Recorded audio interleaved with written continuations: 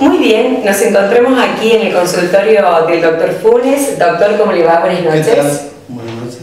Bueno, eh, se está haciendo la campaña contra el cáncer de colon. Que preguntarle eh, qué es la evaluación que han hecho en relación a la concurrencia, que por ahí la gente le cuesta un poco eh, tomar conciencia o la verdad que toma con mucho interés y, y toma conciencia de la importancia de la prevención en materia de salud.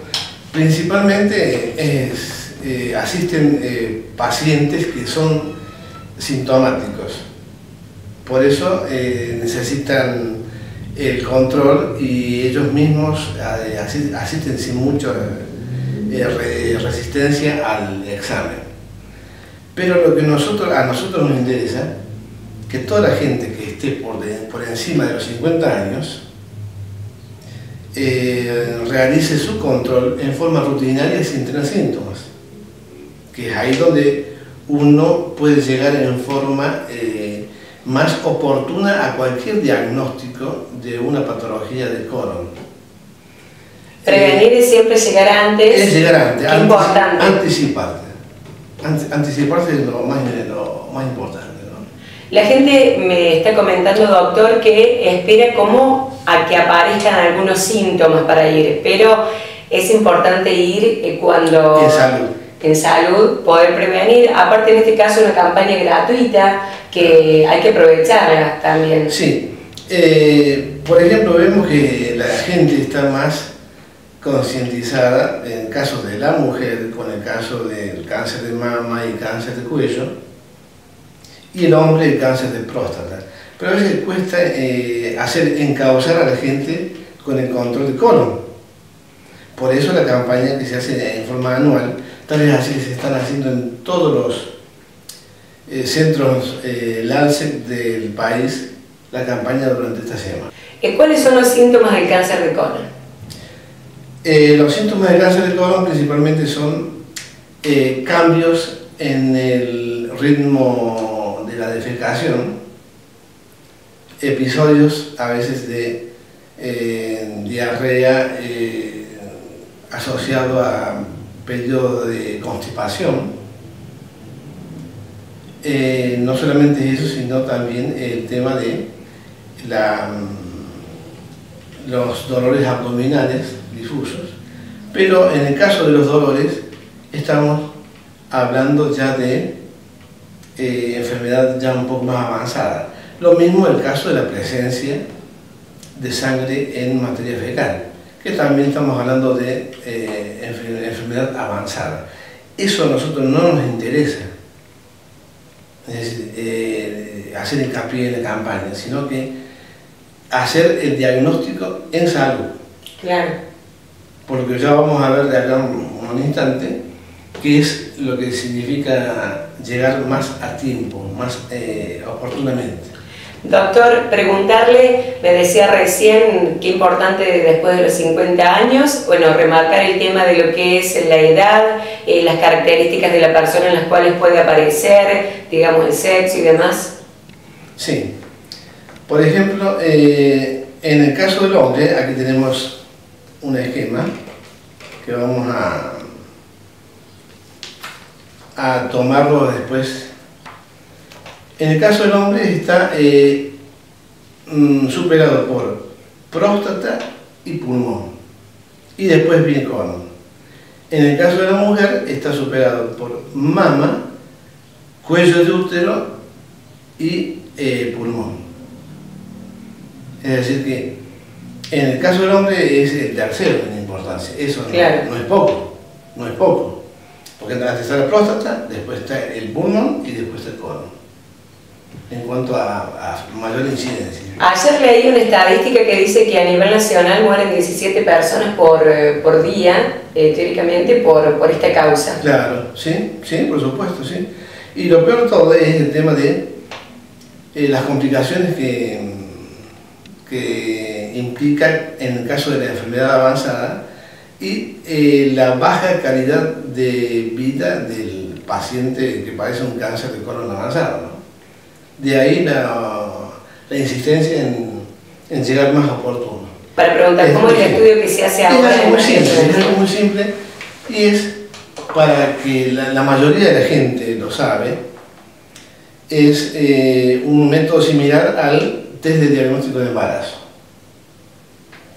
El paciente va a LANCET, retira el set donde se le provee y ahí va a su domicilio y con tranquilidad, eh, después de defecar, toma muestras de materia fecal, lo coloca en un tubito y lo trae a los consultorios de los médicos de LANCE. Acá nosotros hacemos el mismo test, o similar al test de, embarazo, y entonces es, una, eh, es un análisis con respuesta casi inmediata, porque a los minutos ya tenemos el resultado. Es decir, este test nos dice, ¿hay sangre o no hay sangre en materia fecal? Claro. Una vez que se detecta, eh, supongamos que viene una persona, a lo mejor asintomática, pero se encuentra con este tipo de diagnóstico de que se puede, eh, digamos, reconocer la aparición de cáncer de colon. Eh, ¿Cuál es el tratamiento que hay que seguir? Lo, que, lo que sigue sería un estudio por video, que es la colonoscopia, que es la introducción de un fibroscopio eh, donde se estudia, todo el recorrido del colon. Entonces ahí se detecta a veces alguna lesión, pero la mayoría de los casos positivos del test FOB, que es lo que hacemos nosotros en la campaña, está motivado por hemorroides.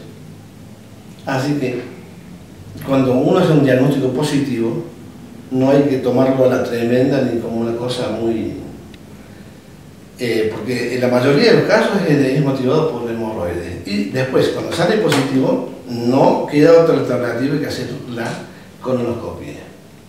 Y cuando se hace la colonoscopia, la mayoría de los casos que fueron positivos por el FOB son por hemorroides, o internas, más que nada internas.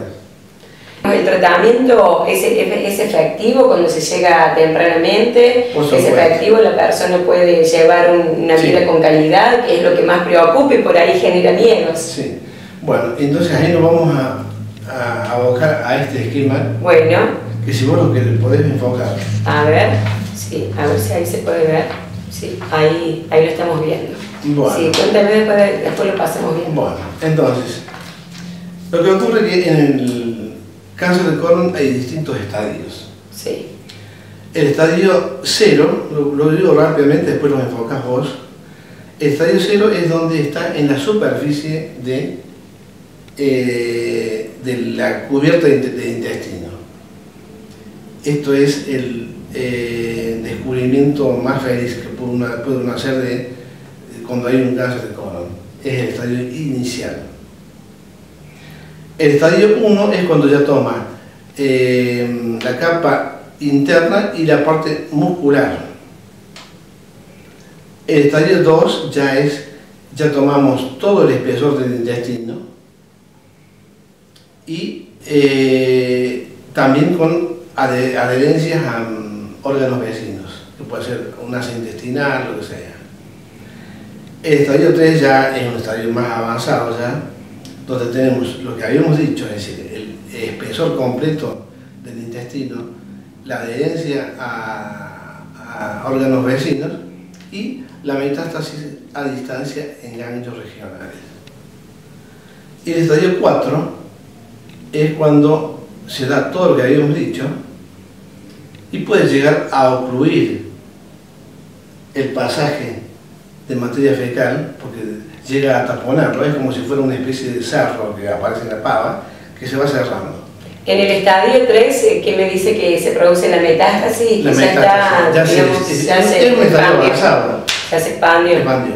Y el 4 es lo que habíamos dicho, eh, toma todo el espesor, da la metástasis a ganglios regionales y da la metástasis a eh, órganos como eh, hígado, pulmón, etc. Ya en el estadio 4 ya se complicó. muy avanzado. El estadio 3 y 4 eh, realmente uno llega medio con tarde. Claro. Eso es lo que uno intenta evitar. Es decir, que lo, lo que uno trata de hacer con esta campaña, de conseguir algún diagnóstico en 0 o 1. O el estadio 1, claro, sí, sí, sí.